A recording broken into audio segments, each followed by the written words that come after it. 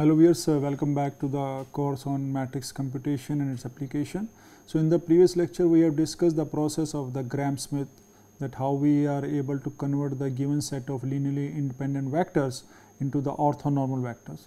So, today we will discuss uh, the application of that one. So, let us take uh, the example that how we can proceed with the Gram-Schmidt process. Suppose I have a vector space R 3 and I have the basis I am taking the basis as 1 1 1 0 1 1 and 0 0 1. So, this is the basis I am taking.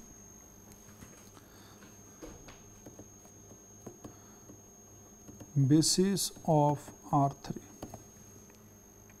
Now, from there the process is that the question is that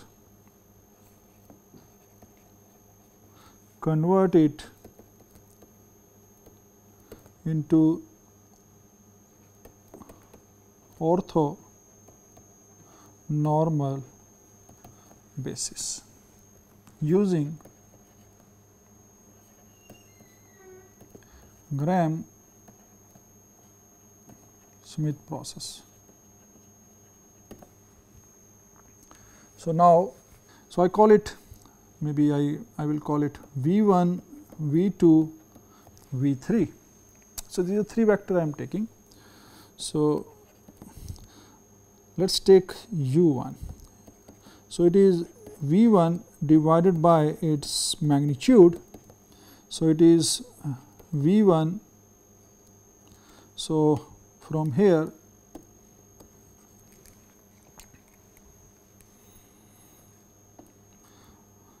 v 1 is 1 1 0 and its magnitude is 1 plus 1 under the root so, it will become 1 by root 2 1 1 0. So, that is my vector u 1 is a normalized vector. So, it is step 1. Now, step 2 I want to make another vector. So, I will uh, write my y 2. So, it is my v 2 minus taking the dot product of V 2 with u 1 into u 1. So, my V 2 is a vector that is a column vector we always represent by this one minus. So, I am taking the dot product of V 2 with u 1. So, V 2 is basically I can write here like V 2 is 0 1 1 taking the dot product with 1 1 0 root 2. So, this is my dot product and then u 1 is I can call it maybe 1 by root 2 1 by root 2 0. So, how I am going to solve this one is that this vector minus. So, I am taking the dot product of this so, 1 by root 2 I can take common no problem. So, from here it is 1 0. So, 0 1 1 and 0. So, if you see from here this will become 1 by root 2 and then 1 by root 2 1 by root 2 0. From here I can write this will become equal to 0 1 1 minus so, 1 by root 2 I can take inside. So, it will be 1 by 2 1 by 2 0 and I am subtracting this vector and this vector. So, component wise I will subtract. So, it becomes minus 1 by 2 1 minus half it will be 1 by 2 and 1 minus 0 it will be 1. So, I am getting this vector. So, that is my y 2. So, I am getting this value. Now, from here I will write my u 2. So, I will take this vector as minus half, half 1 because this is how we can find from here divided by its magnitude. So, it will be 1 by 4 plus 1 by 4 plus 1 root. So, it is 1 plus 1 2 plus 4 6 by 4. So, it is I can write as minus 1 by 2 1 by 2 1 divided by so it is 6 by 4 so 3 by 2 root 2 so that is my u2 so this is a normalized vector. Now from here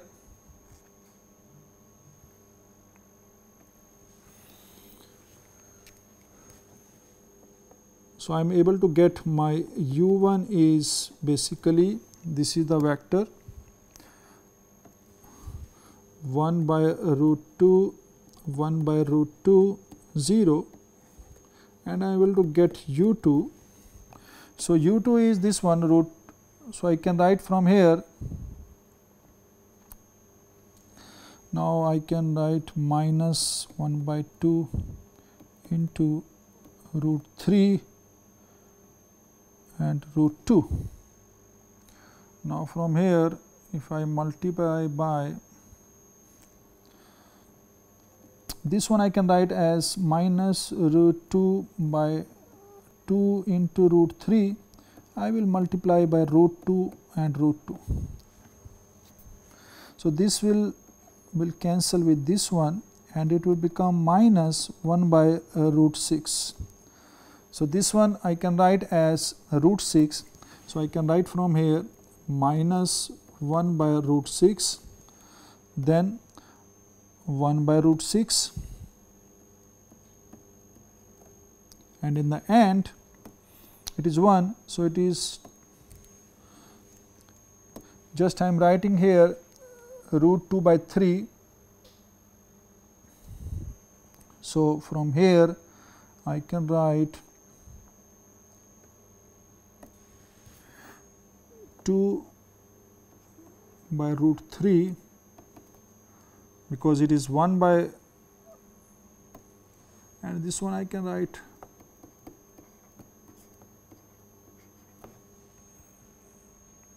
so I multiply by root 2 and root 2 so root 2 into root 2 2 so I can write this as this one. So I can write from here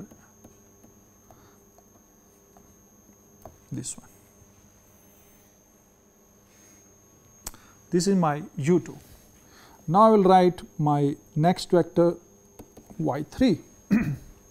so, this will be v3 minus I am taking the component of v3 with u1 into u1 plus v3 taking the component with u2 u2 and that will be equal to so v3 I have taken 0 0 1. So, it is 0 0 1 and I know that these vectors are linearly independent.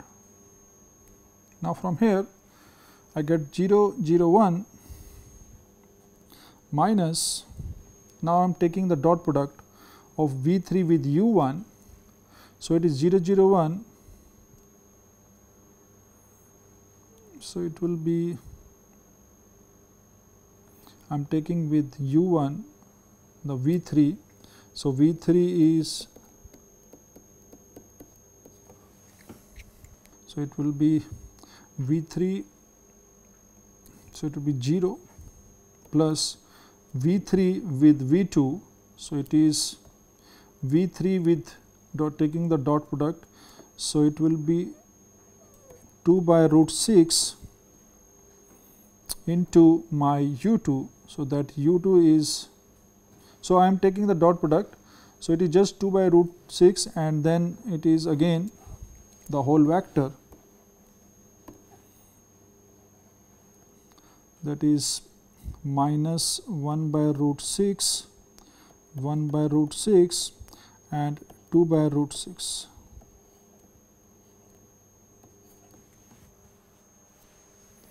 This is what I got.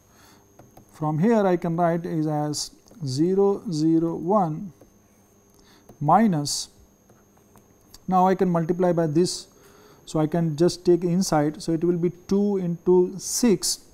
So, it will be minus because it will be minus 2 by 6. So, it will be minus 1 by 3. Now, it will be 2 by 6. So, it will be 1 by 3 and it is 2 into 2 4 by 6.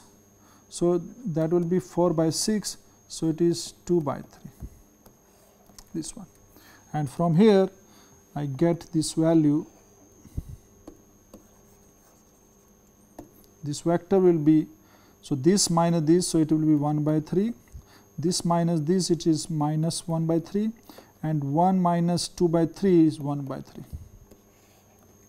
So, that is my y 3. So, this is my y 3. Now, from here I can find my u 3.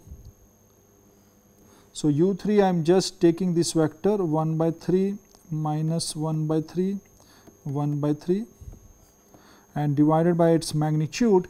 So, its magnitude will be 1 by 9 plus 1 by 9 plus 1 by 9 under the root. So, 3 by 9 under the root and this is 1 by 3 root 3. So, it is 1 by uh, root 3. Now, from here I can write see 1 by 3 divided by 1 by root 3. So, I am getting my root 3 above and from here I can write this as 3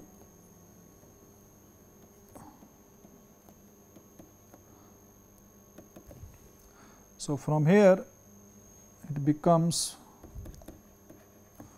1 by root 3 because I just multiply by root 3 and divide by root 3. So, this can be written as this one and from here is 3. So, that will cancel out this. So, from here I can get this vector as 1 by root 3 minus 1 by root 3 and 1 by root 3. So, this is my vector uh, u 3. So, from here my u 3 become minus 1 by root 3 and 1 by root 3. So, let us ch check that. Now, we are able to get 3 vectors. So, this is my u 1, u 2 and u 3. Now, I want to check that whether they are linearly uh, they are uh, orthogonal to each other or not. Now, from here we can see that if I take u 1 it is a no problem. Now, if I take u 1 dot u 2, so this is 1 by root 2 minus 1 by root 6 plus 1 by root 2 minus 1 by root 6 and last is so it is cancel out so that is 0 now u1 dot u3 so u1 dot u3 it becomes 1 by root 2 into 1 by root 3 minus 1 by root 2 into 1 by root 3 because it is negative sign and third is 0. So, this is also cancel out become 0. now, I take u 2 u 3. So, u 2 u 3 is minus 1 by so I am taking 6 into 3 18 minus 1 by 18 because this is negative sign plus 2 by 18 and that will be 0. So, they are orthonormal to each other and of course, they are uh, their magnitude is 1 because it is 2 4 plus 1 plus 5 uh, plus 5 plus 6. So, if I take this one its magnitude is 1 its magnitude is 1 and its magnitude is 1. So, from here we can say that now the set I call it this one. So, I represent by 1 by root 2, 1 by root 2, 0 and then minus 1 by root 6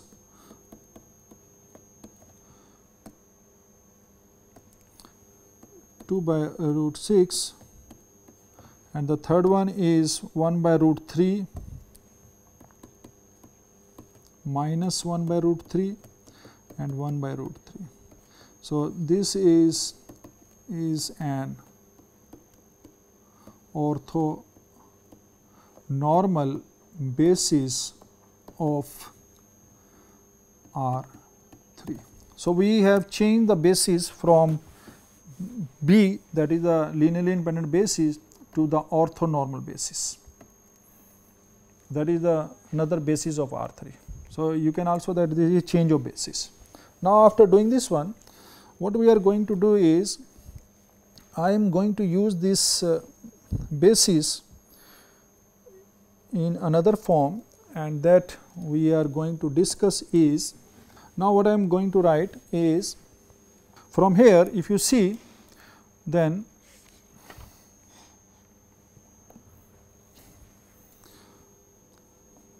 so after doing this one I will just write the matrix I represent this matrix by Q.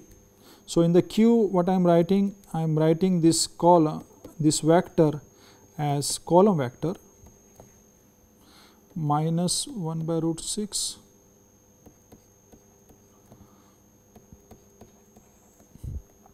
1 by root 3 minus 1 by root 3 and 1 by root 3. And I know from here that these are orthogonal to each other.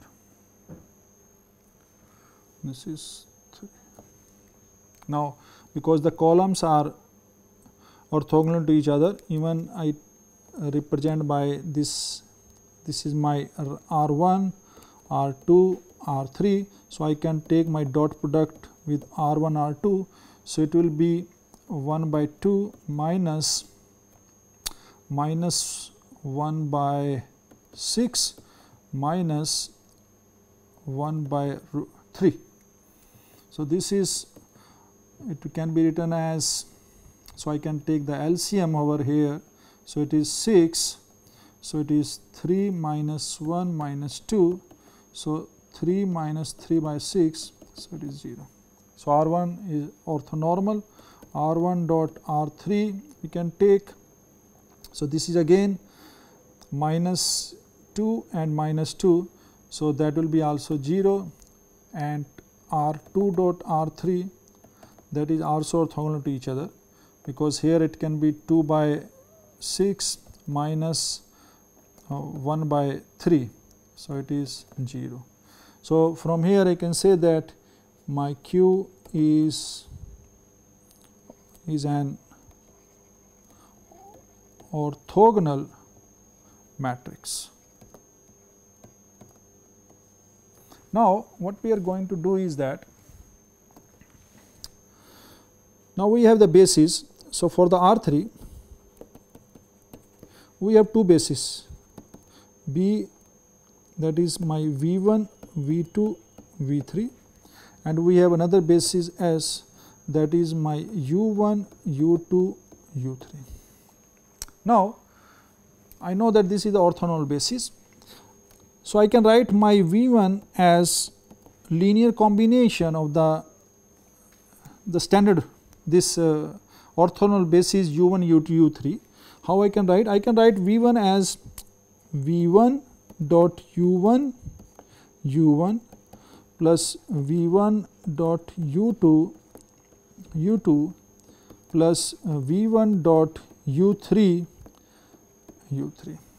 Similarly, I can write my vector V2 as V2 dot U1 U1 V2 dot U2 U2 and V3 dot or V2 dot U3 U3 that we have already discussed. And similarly V3 is V3 taking the dot product with U1 V3 taking the dot product with U2 and V3 taking the dot product with U3. This system this can be written as so I take a matrix with first column second and third. So, this is the matrix basically we have which is made up of the bases the linearly independent bases I can call it this matrix A. So, this can be written as now I can write this as u 1 u 2 u 3. So, that is I am taking u 1 u 2 u 3 here. So, we call it q and then I can have a matrix here this can be written as v 1 dot u 1 then v 1 dot u 2 and v 1 dot u 3 because this one because I multiply by this one I will get this value. Now, v 2 dot u 1 v 2 dot u 2 and v 2 dot u 3. Similarly, I can have v 3 taking the dot product with u 1, v 3 taking the dot product with u 2 and v 3 taking the dot product with u 3. Now, from here I know that this v 1 is u 1. So, no problem, but what about v 1 dot u 2? I know that v 1 is perpendicular to u 2. So, from here if you see, so I this is another matrix, but from here you can see that this value is equal to 0 because my u 2 is definitely perpendicular to u 1 and u 1 in the direction of v 1. So, it is perpendicular. Similarly, my v 3 and u 3 v 1 u 3 are 0. So, this is also 0. Now, in the next one V 2 dot U 1, V 2 dot U 2 and V 2 dot U 3 that is 0. So, this is equal to 0. Now, this is ok.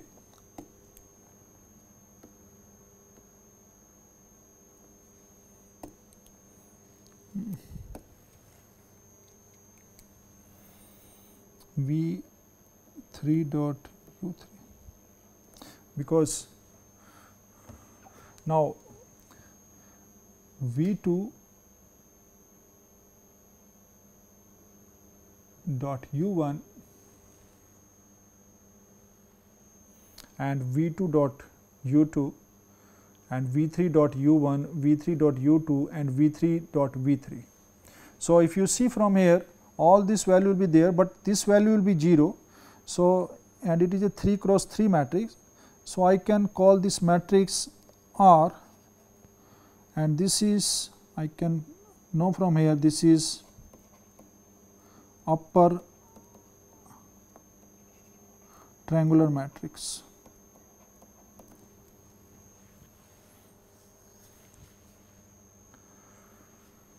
Because here it is V 2 with U 1 no problem, V 2 with U 2 no problem. So, this is it can be some values, but this value definitely it will be 0 so, this is a matrix that is called the upper triangular matrix. So, from here if you see I have written my matrix A as Q this is made up of orthonormal bases into R. So, this is called QR factorization of matrix Now, from based on this one, we will take the idea of another important topic that is QR factorization.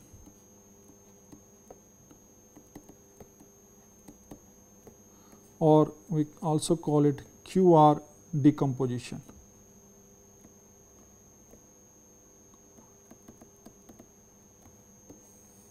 So, what is this? So, let we have a vector space V, V be a vector space and I call it the dimension of V is suppose n. So, now I take the basis of V. So, let B is the basis that is V1, V2, Vn. So, this is the basis. Then we take the orthogonal basis that is U1, U2, Un. So, this is what we have seen. So, this is a basis of V and this is a orthonormal basis of V. So, these are the orthonormal bases that we have taken from with the help of Gram-Schmidt. Now, based on this one we can write again. So, now we can write V1 as again we can write V1 taking the dot product with U1, U1, V1 taking the dot product with U2, U2 and in the end V1 with UN taking the dot product with UN. In the end we can have my Vn as Vn dot U1 Vn dot U2 and Vn dot Un Un. So, from here I can write a matrix with V1 column vector V2 Vn it can be written as U1 U2 un and then we can have a matrix that is I can write as v1 dot u1 this is a dot product we are taking v1 dot u2 v1 dot un. So, this is a dot product we are taking we understood. Now, from here I can write again. So, this is V 1. So, I can write the same thing with V 2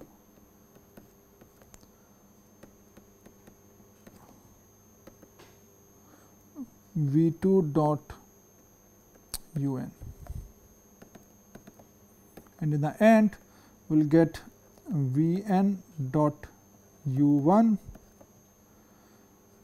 V n dot U 2 and V n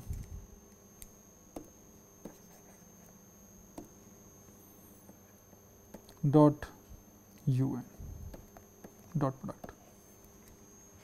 Now, this matrix is my matrix corresponding to the given basis I call it A. This is a matrix corresponding to the orthogonal basis that is my Q and this matrix if you see now, from here in this matrix, so this matrix I can write here that from here it is for now V i dot u j. So, this is equal to 0 for j is greater than equal to 2. Okay and where i is 1 2 up to j minus 1. So, that is there. So, if you use this one then you will see that this matrix is an upper triangular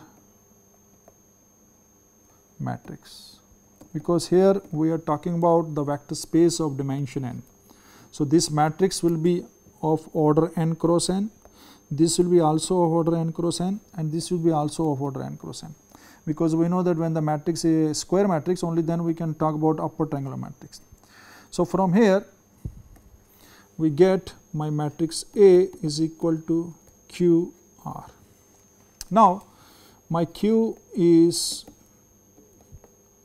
is an orthogonal matrix